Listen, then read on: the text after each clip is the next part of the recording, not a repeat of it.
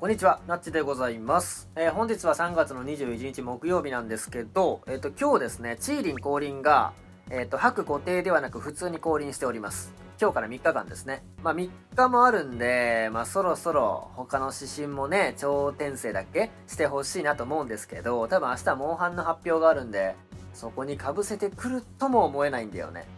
ただまあ今後その指針が超転生する際にチーリンも必要ですっていうパターンがありえそうなので取っといた方がいいかもっていう一応お話です。で今回めっちゃなんかステータスが上がったらしいんでまあ再挑戦というかそのステが上がったチーリに挑んでみましょうっていう動画です、えー壊滅級クリアすると二次メダルがもらえます。ありがたいです。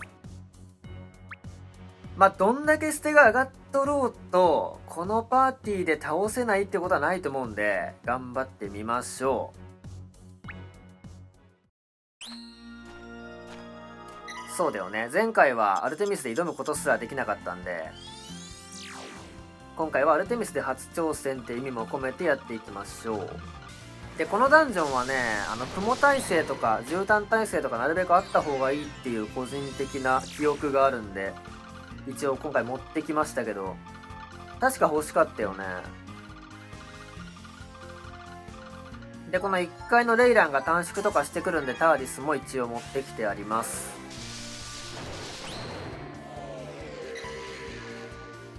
あルーレットはもうどうしようもないですねしかもめちゃくちゃ硬くなってますねやっぱり火力もやっぱ上がってんのかな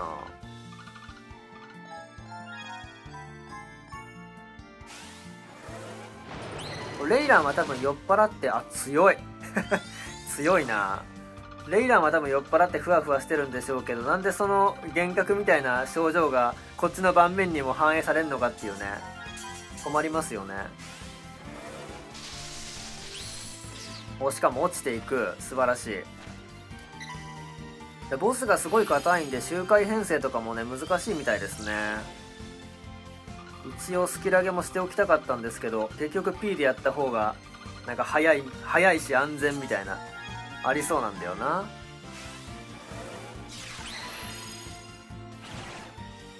めんどくせえなお前らこのギミックがね結構厄介ですね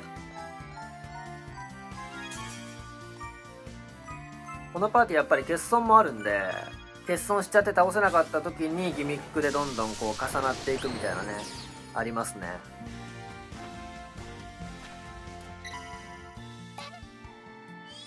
いやこれもなんかさできんかったらめんどくさくなかったっけ？でもどうしようもねえもんな。スキルがないしさすがにゼラチンここで使ってる余裕ないしここはまあしゃあないってことにしておきましょう。なんかあるんだよ。なんだっけ？遅延か。遅延ならまだいいわ。今回ゼラチンにはキラー武器つけてるんで、まあ、溜まっちゃうぐらいなら遅延をしてもらった方が楽ですよね。4回。ここはここ雲だっけ？雲か絨毯がこの辺で入った気がするんですけど。あの横にいる鏡みたいなやつがねやってきた気もするんですよね。とりあえずまあ木を待ちましてやっぱ来たね。それは弾いていきます。ジョイラ武器つけてきました。まああんまり桜が欲しいっていうねダンジョンでもないんでね。いや硬えな。75%で火になったらめんどくせえぞこれ。そのもぐもぐだけ何？怖いんだけど。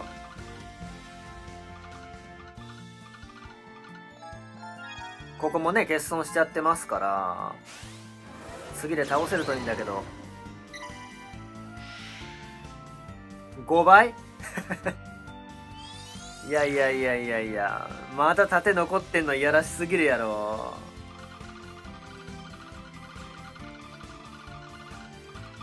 上に2つ組んだらさすがにいけるんじゃないの？どうなの？ここ倒せないとまずいと思うんだけど。倒せない？あでも耐えれますね。耐えれますけどこれがもう一回来ると耐えれませんのでアルテミスはよ溜まってくれや。遅延がここで響いてますね。とりあえず修繕は使わんと耐えれませんから。道中普通にむずいんだけどちゃんと壊滅級してるんだけどこれ。てか前回が白固定とはいえ簡単すぎたんだよね。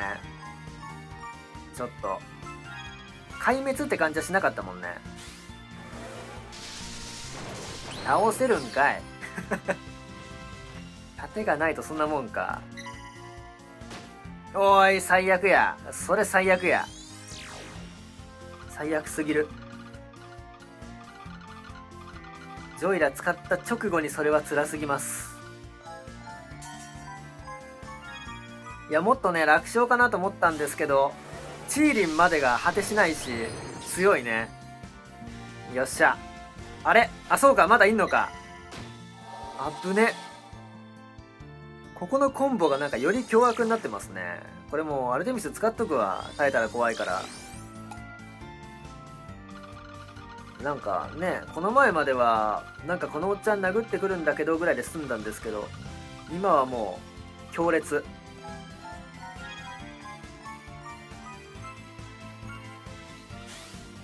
危うく10コンボ組みかけましたね。10コンボ組んだら倍率出ないんでダメなんですよ。ここは先制なかったよな。大丈夫だよな。半減ね。これが普通に硬そうなんですよね。頑張りましょう。まあ最悪ゼラチン1枚使っても大丈夫かもしれませんので。かもね。かもってことにしといてなるべく使わない方向性でいきます。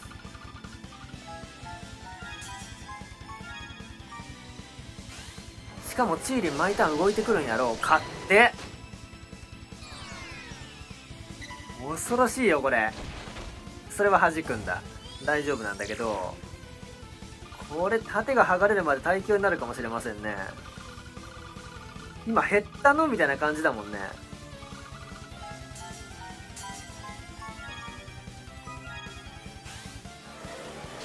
あのなんだっけ。割合やめろて。やばいなこれ。バカ強いやん。普通に押し負けるわ。ゼラチン使うしかないですねもうこれ。間違いなく。使おう使おう。一旦使って。使いまして。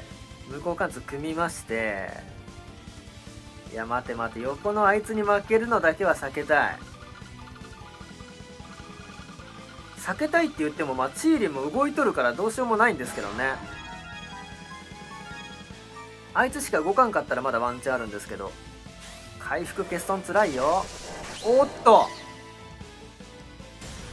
だいぶ戦況変わったこれで。根性なかったよな。大丈夫だよな。向こう側だけだよな。よしよしよしよし。勝ったんじゃない？これハウリングストームをねさっさと使ってよかったってパターンでしょうね。いつもの僕だったら出し惜しみしてよく負けるっていう展開があるんですけどこれ早く使ってよかったパターンですね。よし行きましょ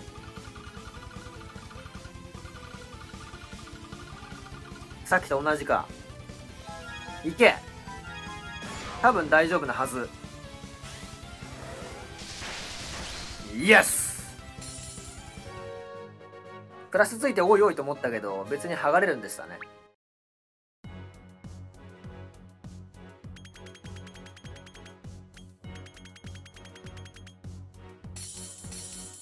よっしゃ。ちょ道中の方は強えわこれ。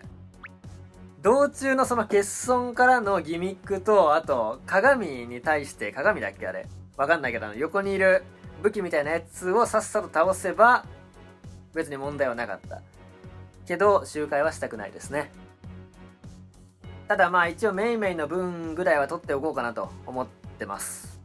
ということで皆さんもあの特に貴族性じゃない場合ですね。まあゼラがやっぱ有効的なんで体力キラーもつけれますし。なんでまあキパとかコンボパーティーの場合はいいんですけど他の属性のパーティーとかだとちょっと硬いかもしれないんでご注意くださいという感じでした。はい。以上です。終わります。ナッチでございました。バイバイ。